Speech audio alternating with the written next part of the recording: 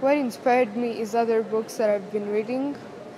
Uh, people around me that write books. I also got inspired and chose to write. Girls out there that are not confident to, to come up with any idea and present it.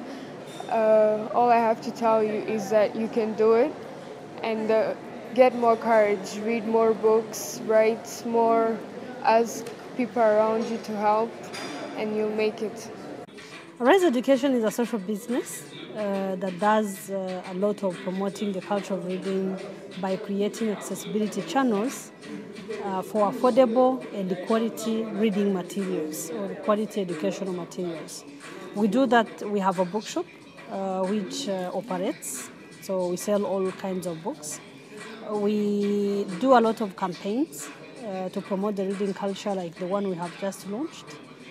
And we also have some events that we have that are kind of permanent. We have a book talk that happens every Thursday uh, from 6.30 to 8 where people come and discuss books, basically. But that is for older people.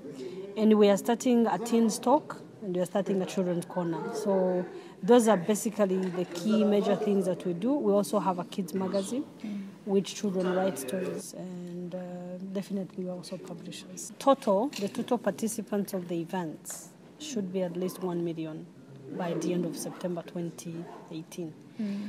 Those include children, parents, uh, you know, through the conferences, through the writing competitions, the community writing festivals, through the uh, the bus, the Gitabo bus, through the supermarket uh, creating accessibility channels for the children, uh, for, for books so that when you are in Ngororero, you don't have to travel to Kigali to come and buy the book.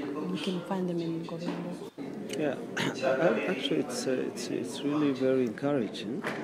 One, to see our young generation, I mean, Rwandans, these kids, uh, just being innovative, creating their own stories, and prefer to put them on, on books.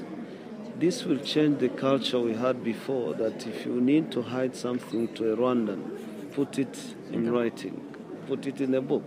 But you can see that the culture is changing if this inspiration is starting right from these kids of primary, where kids come up and feel that she can, she or he can share his or her ideas to the rest of the world putting in inspiring stories with an intention of educating the public. It's really amazing. It's something unique for Rwanda, but it's not surprising because uh, this shows that uh, at least we have the hope for the future of our country. We are developing the Ministry of Education Literacy Policy, which is really giving importance this culture of reading and it will be supported also by the community awareness where some of these projects are being run with the, population where religious uh, communities are involved different uh, district lo- uh, local uh, leaders are also part of this. So we hope with this joint effort that this campaign already and the program itself will survive